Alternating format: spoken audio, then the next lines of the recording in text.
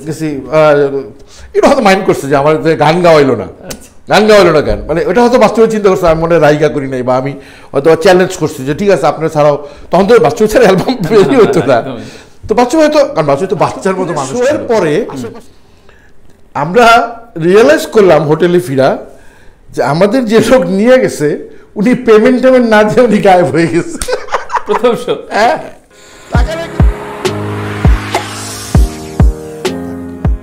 এই যে যেমন আমাকে অনেক মানুষ জিজ্ঞেস করে যে আপনি এত বছর কাটাইলেন দুইটা ছবি দেন বসের সাথে ভালো।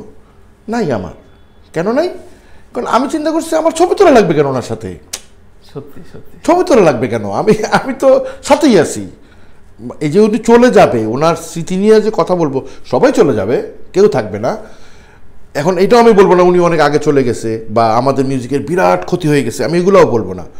এই এইটুকু ওনার আয়ু ছিল? উনি এইটুকুই বাঁচছে। ঠিক আছে? ক্ষতি ইন্ডাস্ট্রির হইলে সেটা ইন্ডাস্ট্রি ইন্ডাস্ট্রির মতো করে পোষায় নিবে। এরকম পাঁচশো বছরও একজন আয়ু বচ্চা আসবে কিনা আমি জানি না। তো যেই প্রসঙ্গে ছিলাম আমি জানি বললেই করা সম্ভব এই জন্য আসলে করা হয়নি। এটা খুব ইন্টারেস্টিং একটা জিনিস। এই দুজনের মধ্যে একটা বিরাট কো ফ্যাক্টর হচ্ছে এসান ইলাই ফান্টি। ফান্টি ভাই। ফান্টি ভাই। কারণ ফান্টি ভাইয়ের সাথে বাচ্চু ভাইয়ের একটা ইয়ে আছে। আর জেমস ভাই কিন্তু একটু অন্য রকম মানে ওনার উনি উনি শিল্পী হিসেবে উনি উনি একটু কিন্তু ডিফারেন্ট ঠিক আছে? চিটংয়ে ওনাদের মধ্যে জেমস ভাই কিন্তু চিটংয়ের লোক না কিন্তু ওনার বাবা চিটংয়ে পোস্টেড ছিলেন চিটং কলেজের প্রিন্সিপাল ছিলেন ওনার বাবা কিন্তু বাংলাদেশ পিওর ম্যাথমেটিক্সের প্রথম ডক্টরেট উনি যখন মারা যায় তখন ডক্টর মোজাম্মেল হক জেমস ভাইয়ের আব্বার কথা বলছি উনি ছিলেন তখন বাংলাদেশ টেক্সট বুক বোর্ডের চেয়ারম্যান আচ্ছা তখন ওনারা চিটংয়ে থাকার সময় বসের সাথে ওনাদের সাথে ইন্টারাকশন ঢাকা আসার পরে যেটা হয়েছে যে বাচ্চু ভাই তো মোটামুটি সোলস করে তখন মোটামুটি একটা মোটামুটি একটা সেট আর কি। ঠিক আছে উনি মিউজিশিয়ান হিসেবে বা কম্পোজার হিসেবে কাজ পাচ্ছেন কিন্তু জেমস ভাই তখনও ফিলিংস নিয়ে দাঁড়াতে পারছে না। আচ্ছা। ঠিক আছে একটু অল্প অল্প শো করছে। বা আমি অনেক শোতে এরকম গেছি যে থার্টি ফার্স্টের শো এই শো ওই শো গানের স্টক নাই। মানে অনেক উনি কিন্তু সব জায়গায় কম্প্রোমাইজ করতেন না। জেমস ভাই কিন্তু শিল্পী হিসেবে একটা আলাদা কোয়ালিটি আছে। উনি প্রচুর পড়াশোনা করে কিন্তু। গল্প, কবিতা, এই তারপরে প্রচুর মুভি দেখা। আমার সাথে কিন্তু অনেক এক্সচেঞ্জ এগুলো হয়েছে। সিনেমা আমি একটা দেখা, ওনার দিতাম উনি আমাকে বই এক্সচেঞ্জ করতাম, বাচ্চু ব্যাপার এগুলো এগুলো এগুলো ছিল। উনি পিওর পোর খাওয়া মানুষ। হ্যাঁ? তো তখন মোটামুটি এল মানে বাচ্চু এলআরবি তখন তখন মোটামুটি রানিং অবস্থা আছে। তো এলআরবি কিন্তু প্যাকড অবস্থায়। তখন জেমস ভাই, ইসেকে, জেমস ভাইকে বাচ্চু অনেক আদর করত। ঠিক আছে? তখন একটা স্ট্র্যাটেজিক একটা আন্ডারস্ট্যান্ডিং হইল ঠিক আছে? যে একটু ডিফারেন্টভাবে যদি আগানো যায় হ্যাঁ অ্যাপ্রোচটা যে সব জায়গাতে এক ব্যান্ডি করে আমরা অ্যাটলিস্ট দুই তিন বছর টাই হয়ে যদি কাজ করি আচ্ছা। ঠিক আছে? কার অফার ছিল? এটা এটা মোটামুটি একটা আন্ডারস্ট্যান্ডিং চলছিল যে বস যেদিন শো করতে পারছে না একটা শো আছে উনি ইন্টেনশনালি প্রোভাইড করে দিচ্ছে ইসেকে ঠিক আছে? বা ফান্টি ভাই হয়তো বা এরকম লেভেলের একটা মানে শো পাইছে যেটা জেমস ভাই তো আবার গানে কম্প্রোমাইজ করে না। উনি মার্ক নফরারি করবে ওনার স্টাইলে উনি করবে। উনি তো ফোক গান মানে ইডি করবে না বা স্টেজ মাতানো গান করবে না বা আজম খানের গান করবে না। এগুলো কিছু জেমসের মধ্যে ছিল। এটা ভালো, এটা একা আর্টিস্টের এটা, এটাকে আমি খারাপ বলব না, এটা ওনার স্টাইল তো ওই- ধরনের শোগুলো আবার ইসেকে ট্রান্সফার করতো, এলাবিকে ট্রান্সফার করতো। তো এইগুলা করতে করতে করতে করতে একটা আন্ডারস্ট্যান্ডিং জন্মেছে তো তখন কনসার্টের টাইটা শুরু হইল বি ফিলিংস এটা এই টাইটা শুরু হইল তো মোটামুটি সাকসেস আসা শুরু হইল ঠিক আছে? এটা আমি বলব না যে বাচ্চুবের কারণে জেমস ভাই দাঁড়াচ্ছে এই ধরনের কথা এটা যার যার ইয়ে নিয়ে আসে আসে। এটা হলো কো ফ্যাক্টর আমি কাউকে ছোট করছি না। এবং এবং এ- দুজনের মধ্যে কিন্তু সাংঘাতিক আন্ডারস্ট্যান্ডিং আছে। আচ্ছা। এবং একই সঙ্গে এদের মধ্যে একটা সাংঘাতিক প্রতিযোগিতাও আছে। কে কার চেয়ে ভালো ম্যাটেরিয়াল দিতে পারে? ঠিক আছে? যে লতিফুল ইসলাম শিবলির জেল থেকে বলছি মোটামুটি ভালো চলছে তো শিবলির গানের স্ক্রিপ্ট যখন জমা পড়ছে হ্যাঁ ওখান থেকে মাকে বলিস হ্যাঁ ওখানে পিক হয়েছে। কারণ ওখানে জেমস ভাইয়ের সাথে কাজ করছে ও স্ট্যান্ডার্ড ভালো এখান থেকে এটা পিক হয়েছে। এরকম কি একটা ভালো প্রতিযোগিতা ওদের মধ্যে ছিল? এটা আমার মধ্যে শিবলির মধ্যে ছিল। হ্যাঁ হেলদি হেলদি কম্পিটিশন তো এই এই জায়গা থেকে এবং ব্যক্তি পর্যায়ে ব্যক্তি পর্যায়ে বাচ্চু ভাইয়ের চেয়ে জেমস ভাই একটু এলোমেলো বেশি ছিল এবং উনি বিভিন্ন রকম সমস্যা বলে বাচ্চু ভাই ভাইয়ের মতো যে হেল্প করতো। আচ্ছা। ব্যক্তিগত পারি তো আমার অ্যালবাম ট্যালবাম বাদ দিয়ে আমরা ওইটা নিয়ে আমাইতে গেলাম। আচ্ছা। এখন আমার আল- আল্লাহর রহমতে আমি আমি তো ওই ওইটুকু সিনিয়র যে আমি যারে বলব সেই গাবে গান। যারে বলছি সেই গাইছে কোনো সমস্যা নাই। এখন আমি এখন শুধু দ্বিধাদ্বন্দ্বে পড়ে গেলাম। না কিন্তু আপনার ছয়টা গান ওগুলো তো ভুলে গেছি কারণ আমি তো এখন নতুন ওই যে আধুনিক মরমী গান অংশ রেডি করা আছে। আমি বললাম অংশ এই অ্যালবাম বলে যে এটা তো সবই আমার সুর করে তা আপনি কি করবেন? হ্যাঁ। মানে সুর সুর আপনি সুরে গান দেবেন না আমি করব সেটা পরে সুর। আমরা কম্পোজিশনটা একসাথে করি। এখানে আমরা তুমি আমাদের ট্রেডমার্কটা এরকম থাকুক যে এই অ্যালবামটা পুরো যেহেতু তোমার লেখা লেখা হিসেবে এই অ্যালবামটা তোমার যাক পুরো লেখা নিয়ে যাবে সুর সুর সংগীত আমরা আহমেদ খান করি। এর পরের অ্যালবাম আবার আমি পুরো লিখব সুর সুর আমিও কিছু করব তুমি কিছু করব? এভাবে আমরা আহমেদ খানটা আসলে। আহমেদ খানটা মিউজিক আম শুট আর লেখাটা আমরা ভাগ করে নিব। আমাদের দুজন এক একজন একটা অ্যালবাম লিখব বাট সেটাও ডুয়েটও করতে পারি। তো এখন গান তো প্রায় হয়ে গেছে। এখন বসের টার্গে বসকে কেমন গান দিব? এটাই তো চিন্তার ব্যাপার। আসলে সংকোচ অভিমান থেকে না ভাইয়া। অভিমান একদম অনেস্টলি বলছি অভিমান থেকে আমরা। বাইরে থেকে মনে করছি। না ওটা অনেক হ্যাঁ। এখন আমি অবশ্য আমি কোনো বাদ দাও এলা বস তো আসলে না দেওয়ার আসলে সাহস করতে পারি। মানে কেউই কেউই সাহস করতে পারি নাই। আমিও না অংশও না। মানে ব্যাপারটা হয়েছে ওরকম আর কি। কারণ কারণ হ্যাঁ না এখন জিনিসটা হচ্ছে যে এখন এখানে জেমস ভাইয়ের দুইটা গান আছে হাসান- হাসানের দুইটা গান আছে মাকসুদ ভাইয়ের গান আছে। এখন বাচ্চু ভাইয়ের তো আমি গান করতে বললে তারটা আমার টাইটেল করতে হবে। এটা একটা টেনশন ঠিক আছে? তখন জেমস ভাই আবার মাইন্ড করবে। এটা কিন্তু কম্পিটিশনের হ্যাঁ, ব্যাপার এটা হ্যাঁ। মার্কেটিং এর ব্যাপার। হ্যাঁ, ওনাদের জেমস ভাইদের আর বাচ্চুমের কথা কিন্তু আমি শেষ এইখান দিয়ে শেষ করছি যে ওনাদের মধ্যে একটা মারাত্মক আন্ডারস্ট্যান্ডিং ছিল।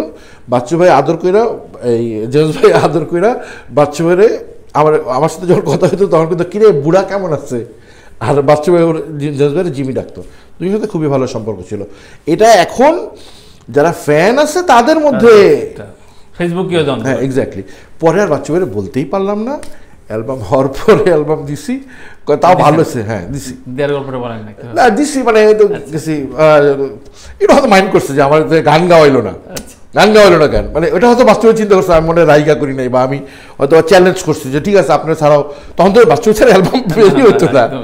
তো বাচ্চা হয়তো কারণ বাচ্চা তো বাচ্চার মতো মানুষ ছিল। আশেপাশে তো চাটুকার ভরা। হ্যাঁ তারা তো হাওয়া দিয়ে রাখছে বসরে যে দেখেন কত বড় সাহস। দেখেন আপনার লোকের লোক বাইর করে নিয়ে. অ্যালবাম করে আবার আপনার গিফট করতে আসছে এত বড় সাহস, স্পর্ধা কি? বাপি ভাই অসংখ্য স্মৃতি আছে আমি জানি।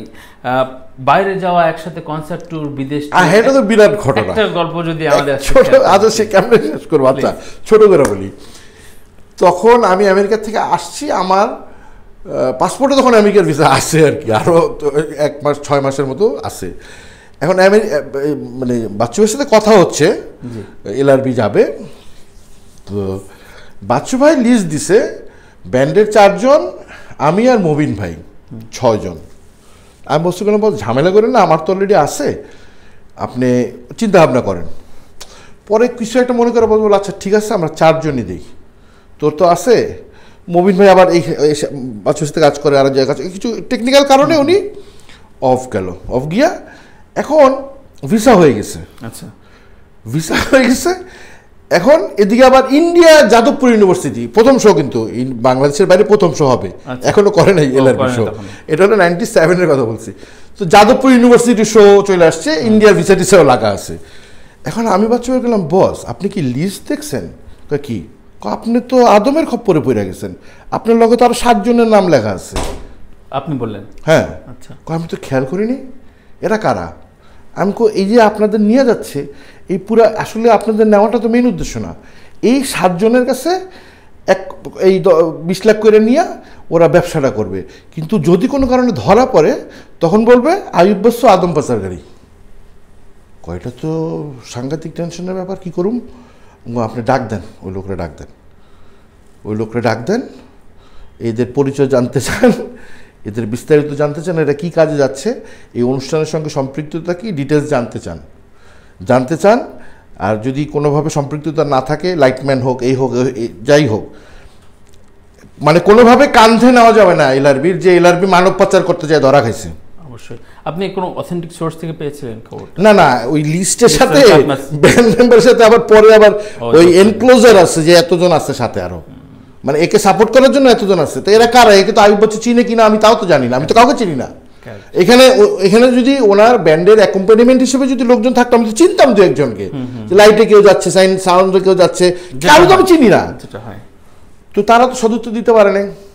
বস আচ্ছা ঠিক আছে বাপ দে আমেরিকা ক্যান্সেল চল যাদবপুর থেকে ঘুরে আসি। যাদবপুর। তো আমরা যাচ্ছি এই কলকাতা এয়ারপোর্টে বলতেছে সবার পাসপোর্ট দীঘা। লোক তাকাই দিচ্ছে এরকম করে আপনারা কি দাদা আপনারা কেমন লোক কি আপনাদের আমেরিকার ভিসা রেডি আছে আপনারা আমেরিকা না যায় আপনারা কলকাতা আসছেন ইমিগ্রেশন বলতেছে। তো গেলাম আমরা।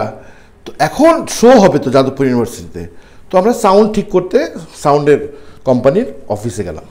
আমি মবিন ভাই আয়ুব আর স্বপন মেয়েটা ছিল কিনা আমি মনে নাই। তো ওখানে বৈশাখ কথাবার্তা হচ্ছে হচ্ছে তো আমি একটা পোস্টার দেখলাম রক ফেস্টিভ্যাল। আচ্ছা। পোস্টার লাগানো rock festival Bangla rock festival. তো আমি ওটা পড়লাম দাঁড়ায় দাঁড়া মানে এখানে ওপেন যে কোনো ব্যান্ড এসে কন্টেস্ট করতে পারে। সাউন্ডের কথাটা তো শেষ তারপর চলো বাচ্চা নাম দিয়ে দেবো নাকি? আমি কিন্তু ওনার আয়ুব ডাকতাম উনি খুব পছন্দ করতো আমি অনেক ছোটো দশ এগারো বছর ছোট আমি কিন্তু উনি আমার ব্যক্তিগতভাবে বলতো যদি একা থাকবি যখন আমার সাথে তুই ফ্রেন্ডের মতো চলবি। কারণ আমার ফ্রেন্ড ট্রেন্ড কেউ নাই এই বয়সী। হ্যাঁ তুই আমার সাথে ফ্রেন্ডের মতো থাকবি তুই আমার আয়ুব ডাকবি আমি খুব খুশি হই। হ্যাঁ আমি বল থ্যাংক ইউ আয়ুব বা ভালো লাগছে না। তো যাই হোক আমি বললাম দিয়ে দেবেন কি আয়ুব কথা ঠিক হইব ওটা দাও পোলা পান জানে না যায়। বা মন বলে দেয় অসুবিধা কি? আচ্ছা ঠিক আছে দিয়া দেয় দিলাম ফর্ম ফিল আপ করে সময়টা কাছাকাছি ছিল। ওই ওই দুই দিন পরে। মানে যাদবপুর ইউনিভার্সিটি শো তো শোয়ের একদিন পরে হচ্ছে গিয়া জোকা ইনস্টিটিউট অফ ম্যানেজমেন্টের দশ পনেরো বিশ কিলোমিটার দূরে ওখানে কন্টেস্টটা রক ফেস্টিভ্যাল এলআরবির প্রথম কোনো বিদেশি শো? হ্যাঁ তো এখন যাদবপুর ইউনিভার্সিটির শো তো হবে। আমি ওই ফিল আপ করে আমি মহিন ভাই জমা দিয়ে চলে আসছি। আমরা অত খেয়াল টেয়াল করি না যে ডাকবে কী করবে, না করবে। তো যাদবপুর ইউনিভার্সিটি তো সিরিয়াস শো হয়েছে, ফাটাফাটি শো মানে যখন আমার পরিচয় করে দেওয়া চই তখন আমি মহিমের পাশে বসে। আমার ধৈরাজদের মতন এরকম আকাশ উড়াইছে, ওখানকার লোকজন। গীতিকারকে তারা এত পছন্দ করে। তো যাই হোক, সেটা পরের বিষয় না। শোয়ের পরে বাচ্চারা তখন পিছন দিয়ে গ্রিন রুম দিয়ে আসতেছে দুইটা লোক আসছে আস্তে আস্তে, হাঁটতে হাঁটতে। তো মমিন ভাই তো ওনার আনপ্লাক করার জন্য ব্যস্ত। কথা একটু কথা বলেন সে বলেন। বলে আপনা আমরা তো ওই ইসের জোকার ওই ম্যানেজমেন্ট টিমের তো আমরা এমনিও এই শোতে আসছি। আবার আপনাদের আপনারা যে পার্টিসিপেট করবেন এটা তো এটাও তো আমরা একটু ইয়ে করতে আসছি। আমি বলছি, আচ্ছা বলেন। বলে একটু আয়ুব সাহেবের সাথে কথা বলতে চাই আমি আচ্ছা ঠিক আছে চলেন। তো ওনার নিয়ে গেলাম পিছনে।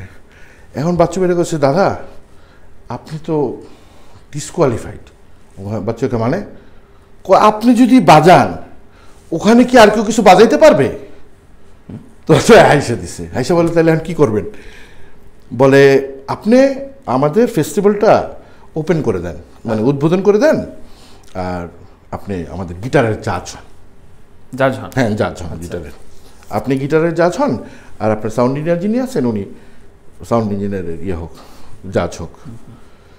তো সেই শোয়ের পরের দিন আমরা যাই এলআরবি ওই শো ওপেন করে এবং বাচ্চু ভাই আর মমিন ভাই ওখানে জাজ হিসেবে ওই পুরা জাস্ট লাইভ পারফরমেন্স দেখে হ্যাঁ।